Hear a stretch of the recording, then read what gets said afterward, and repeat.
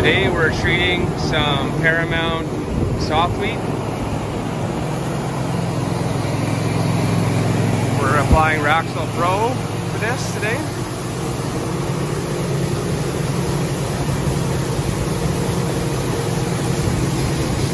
Tumbling drum. Amazing coverage. We'll take a look at what it looks like in the truck.